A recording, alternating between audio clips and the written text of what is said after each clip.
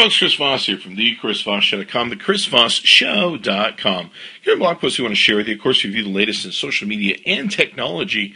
This is uh, one of the newest, latest, uh, greatest phones, if you will, from t-mobile.com. That's t-mobile.com. Be sure to subscribe to all of our updates and everything, as we have all the major phone carriers, including them, sending us all the latest, coolest phones, and we're reviewing and, of course, comparing with other phones that are the latest and greatest on the market. So be sure to tune in to our channels for that. This here is the HTC 8 X, the HTC 8X. It's a Windows phone, and uh, it's one of the newest that comes out with Windows 8 on it, and uh, the latest version of Windows, if you will, for mobile. Uh, so uh, the HTC, this is their line. You can see, of course, it has Beats audio up here on the top. Uh, you've got a front-facing camera here. You've got a speaker for your calls here. You've got a back button, a home button, and a search button that's there. And uh, let's take a look at what goes into this phone. Now, uh, this phone is, uh, like we mentioned, a Windows 8 phone. Its height is 5.21 in uh, height, 2.61 in width, 0.40 in thickness. It's a nice, thin, beautiful little phone that feels really, really good in your hands. It's got a weight of 4.59 ounces, so it's pretty light, and it's got a uh, actual size of 4.30 display screen. Uh, the resolution is 720 by 1280 pixels, and it's got 342 ppi. That's a pretty good PPI for a mobile phone. Uh, the technology on it has got 16.7 million colors on the screen, capacitive multi-touch. Um, on battery talk time, it's got 11.3 hours. Standby time is 12.1 days, and it's got an 1800 milliamp battery. And when you see how thin this is, you're going to be surprised at uh, how they're able to pack that into this device because it's pretty thin for an 1800 milliamp battery. Um, it's got a Qualcomm Snapdragon S4 Plus in it, dual core processor, 1.5 gigahertz Kraut or Crate. I'm not sure how to pronounce that correctly. Uh, it's got uh, 1024 megabytes of RAM, 16 gigabytes of built-in storage. The back camera is an 8 megapixel camera, and it'll of course do 1080p HD, 30 frames per second, and video calling. Um, and it's got on the front a massive 2 megapixel camera, so that's pretty good. A lot of Android phones and, and other phones that are on the market uh, have less than that. So, two megapixels at the front makes it a good calling phone. So, let's talk about some other features of the phone. Uh, you can see here it's got much of the same sort of stuff that we saw in the original versions of Windows 8. Now, it has live tiles where the different tiles can take and move, and uh, photos can be introduced and played through it. You can see here the layout of the menu.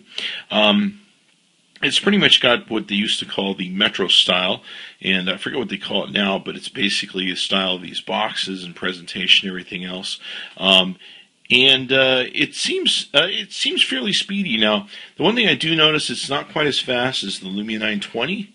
Uh, there's a distinct difference in the speed there, but it's uh, it's fairly fast, I'd say. Um, comparatively, if I didn't know any better, it's a fast little phone. Let's put it that way.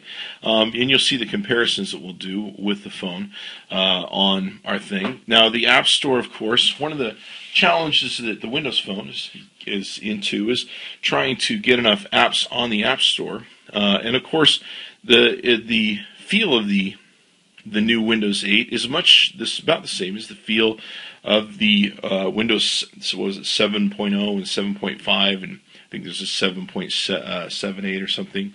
Um, so uh, the feel is good there. You've got the App Store with all these different things you have there. Biggest challenge is how many apps are on the App Store.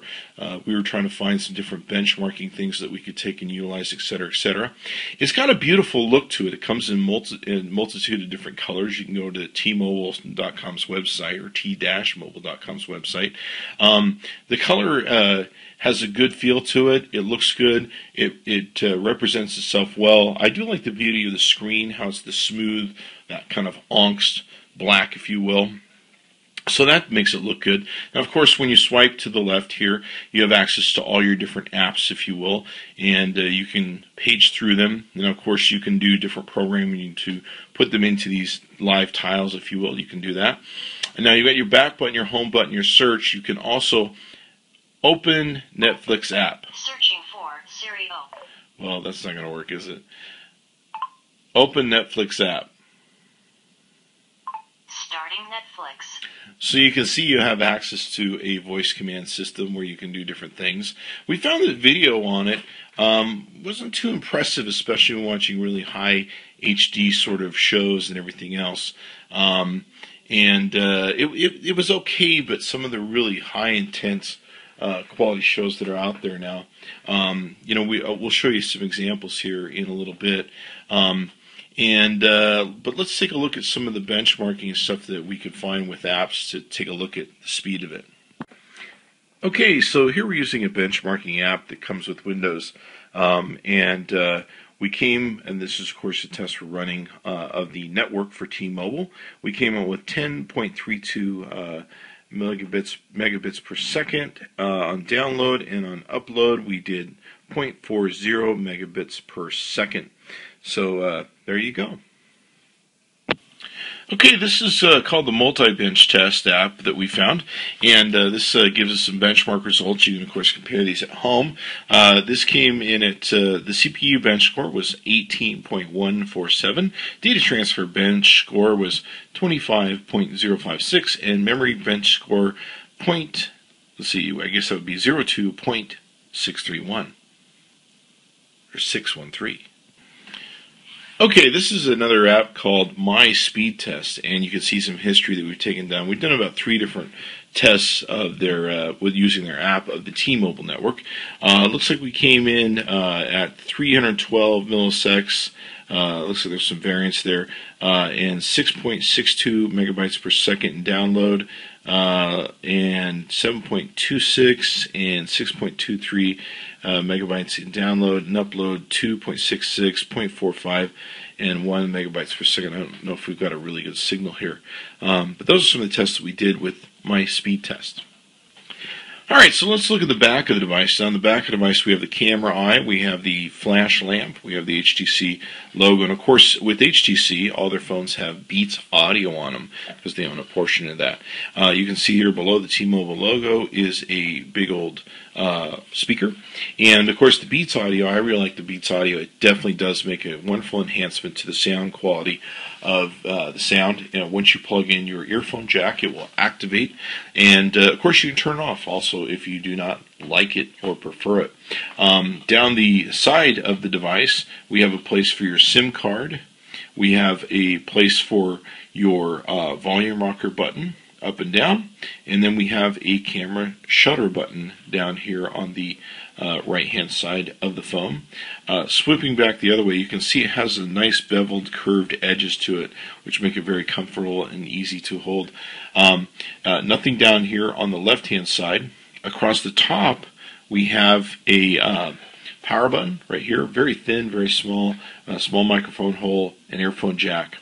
Uh, down the bottom of the device, we of course have a charging sync uh, plug and a uh, small microphone. It's, it's, a nice thin phone if you really look at it. It's very, very thin and uh, it feels good in the hands that way. Okay, even hooked up to a Wi-Fi, um, watching Netflix uh, uh, you know, we notice the screen isn't as clear. Uh, we notice a lot of breakup of pixels.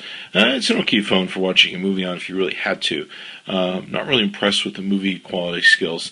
Uh, games are fine, uh, but heavy, high definition movies such as Transformers here, um, definitely you could tell a difference when looking at the screen, even in high traffic Wi Fi sort of feeds. Um, the screen doesn't present as well and uh, good as like high definition you would expect with maybe other more expensive phones. But it does the job. I mean, it can't be all bad, uh, especially for the price you're paying to get into these phones. Um, so um, that's pretty much it when it comes to the video experience. The colors are good. Okay, so the camera that's on the uh, HTC is pretty. It, it's pretty good. It does a good job.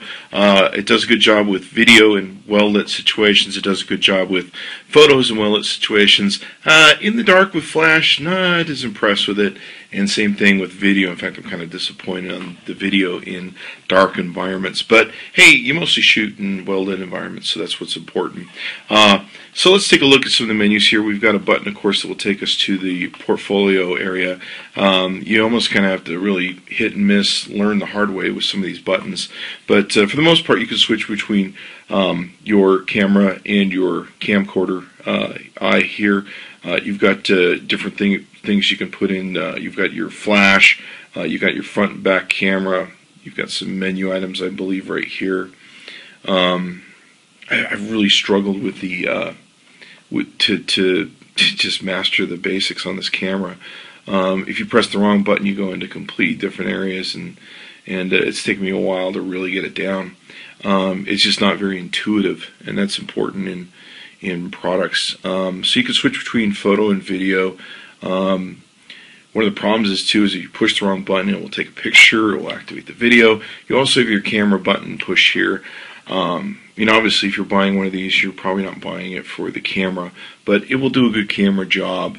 Um, it's a good little phone, but uh, uh, definitely, um, you know, if if camera's important to you, um, you may want to look at a higher quality camera phone.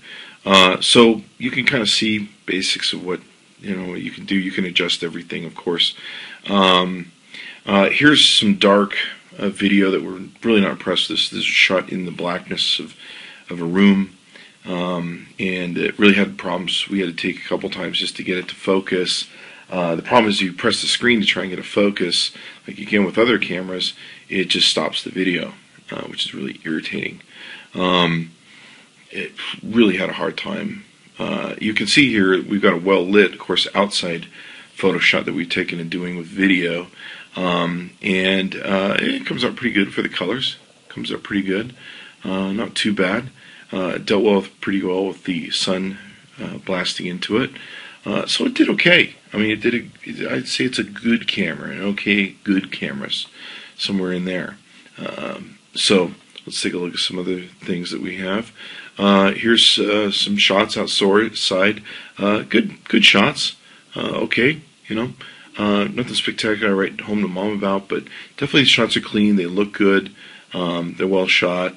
Uh, it's definitely an 8 megapixel camera, so you've got that, and you're going to get good shots. Uh, are you going to get great shots that maybe you might be used to with some more expensive cameras? No, but then you have to spend a whole lot more money. Um, you can just see some of the shots that we took here. Now, this one shot was a completely in the dark shot. Um, where we totally uh, in a dark environment and the flash had to find itself.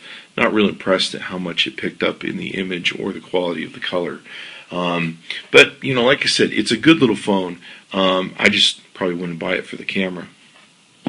Okay, so all in all, there you have it. It's a nice little phone by t-mobile.com. That's t-mobile.com. It's nice and thin. It's got the wonderful speed that you have of the HTC uh, product and, of course, the Windows 8 with it. Be sure to go to t-mobile.com. Check out the uh, HTC 8X with the newest and latest, greatest Windows 8 on it. Uh, tell them Chris Voss sent you. Be sure to subscribe to all the different uh, things on the Chris Voss Show, uh, our channel on YouTube, and the blog posts on the ChrisVossShow.com. And uh, tell them Chris Voss sent you. Chris Voss tested, Chris Voss approved. Be sure to check in often as we review all the latest and greatest phones. And thanks to T-Mobile for sharing the phones with us.